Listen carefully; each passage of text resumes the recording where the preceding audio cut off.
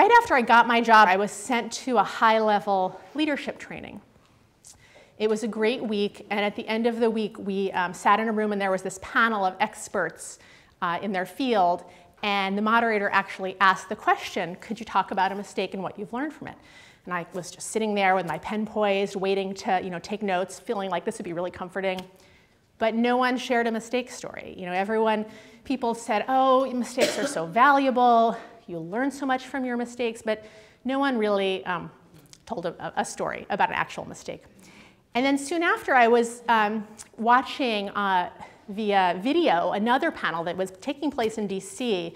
It was part of this collaboration among women's colleges uh, with the State Department.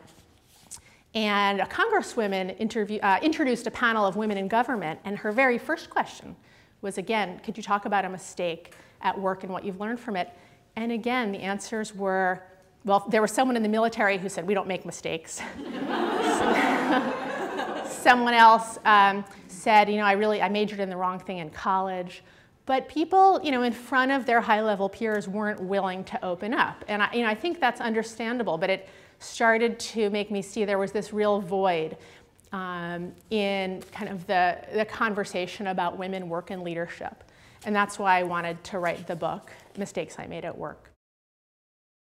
Carol Dweck, she's a psychologist um, from Stanford who um, studies uh, growth mindset versus fixed mindset. And she told me a great story about her time in graduate school at Yale, where she admired, she so admired this professor, Seymour Sarason. And then one day she was sitting in her advisor's office, and he said to her, Seymour Sarason thinks you're really smart. She felt great. She kind of was just sitting there basking in the glow of the approval of this guy. After that, she avoided him for the rest of her graduate career. She never talked to this guy, Seymour Sarason, once because she didn't want his impression of her to be changed in any way.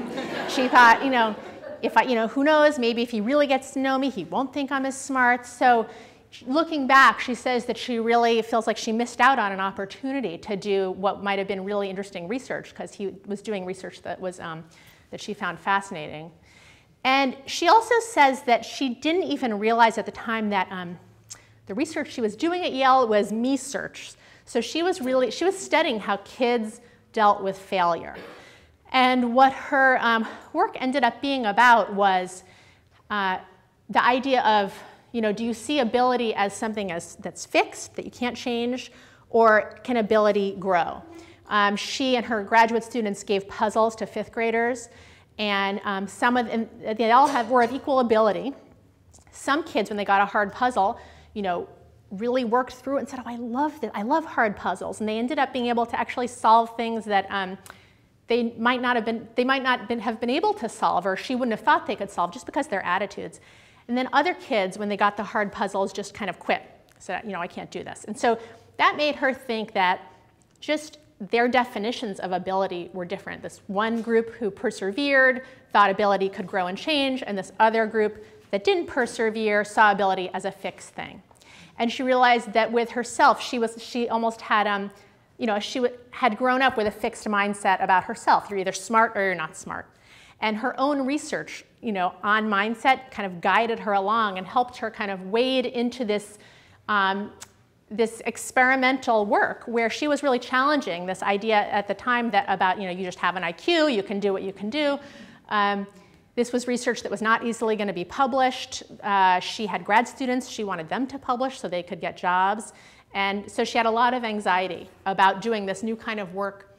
Um, but she said that she really, she took the, the findings of her own research and used it herself. So when you're doing something new, and the editor and peer reviewers aren't familiar with it, it can take longer than usual to publish. But with every rejection, I said, okay, what do I learn from this?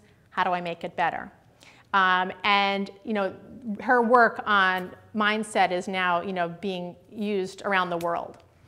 Um, so this is, I think, a good context in which to start the conversation about how each of us deals with um, you know, mistakes and failures, uh, risks that didn't go well.